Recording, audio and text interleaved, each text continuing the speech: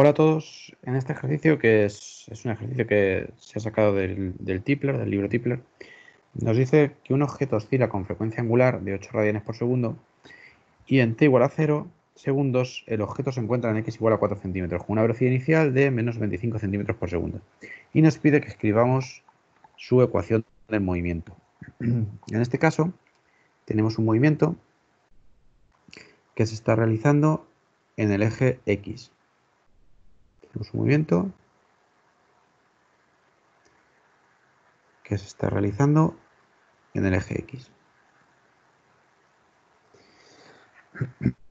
De tal manera que la ecuación de este movimiento la podemos expresar como x de t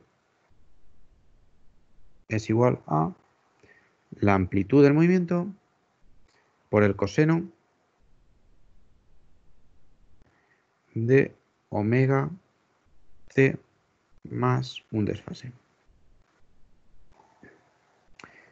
En el ejercicio nos están dando condiciones iniciales, nos están diciendo, eh, nos están diciendo como condición inicial que en t igual a 0,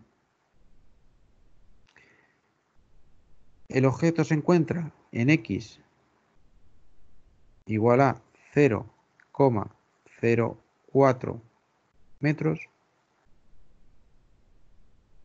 y con una velocidad de menos 0,25 metros por segundo. Con eso debemos ser capaces de escribir nuestra ecuación del movimiento.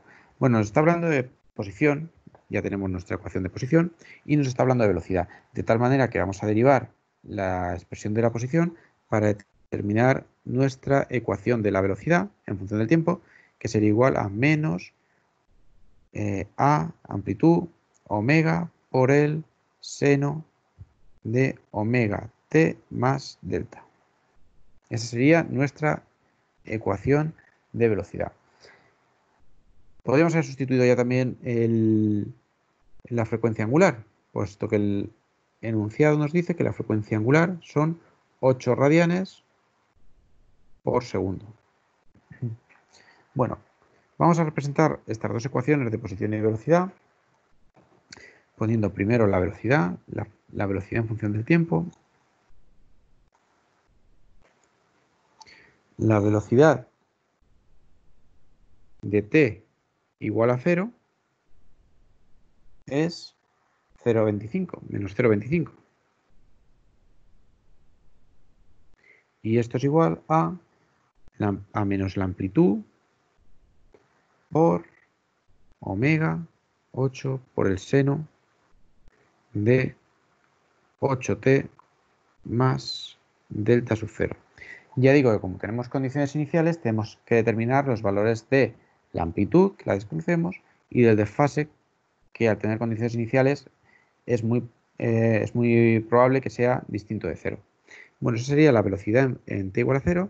Vamos a ver la posición en t igual a 0, que es igual a 4 centímetros, 0,04 igual a la amplitud por el coseno de 8t más delta. Bueno, ¿cómo procedemos en este tipo de problemas? Eh, lo que vamos a hacer es, eh, tenemos un sistema de ecuaciones con dos incógnitas, delta y a, y eh, dos ecuaciones, dos ecuaciones y dos incógnitas. ¿Qué vamos a hacer? Vamos a dividir una entre la otra. Vamos a dividir la velocidad respecto de la posición. Y nos va a quedar, bueno, a la vez quitamos también el signo negativo de los dos lados de la ecuación de la velocidad y hacemos esa división que, nos, que resulta en 0,25 partido de 0,04. Las amplitudes serían es igual a 8 por seno entre coseno es tangente por la tangente de 8t más delta. 8 por la tangente de 8t más delta. Es decir, 6,25 6,25 igual a 8 tangente de 8t más delta. Operamos con esta, con esta ecuación y nos sale que, bueno, en primer lugar tenemos que haber puesto que el tiempo era igual a cero, por lo tanto el tiempo lo podríamos haber quitado en las ecuaciones eh, anteriores. El tiempo es igual a cero, tiempo es igual a cero, tiempo es igual a cero, tiempo es igual a cero, de tal manera que la ecuación se queda aún más sencilla. Es decir, 6,25 partido de 8 es igual a la tangente de delta. Hacemos el arco tangente y nos sale que delta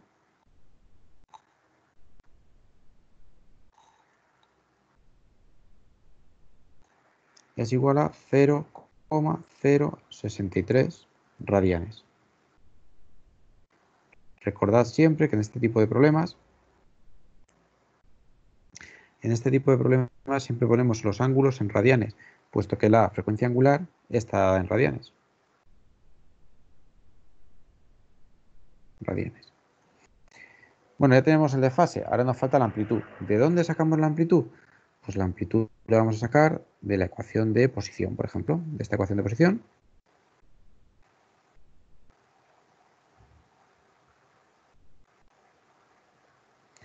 Tenemos que 0,04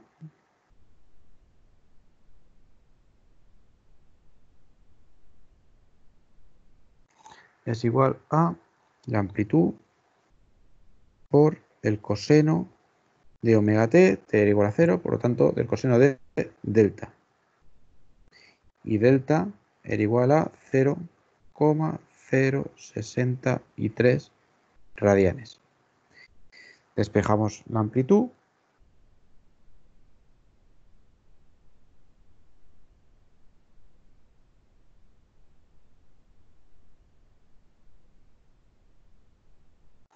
Y nos sale que la amplitud es 0,0508.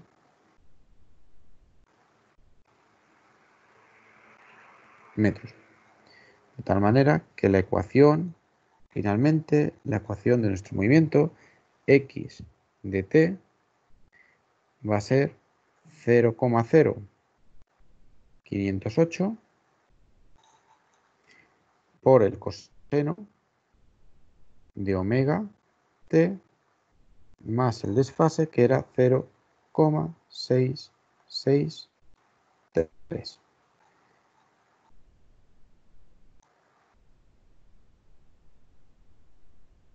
Y por supuesto las unidades de este desplazamiento en metros.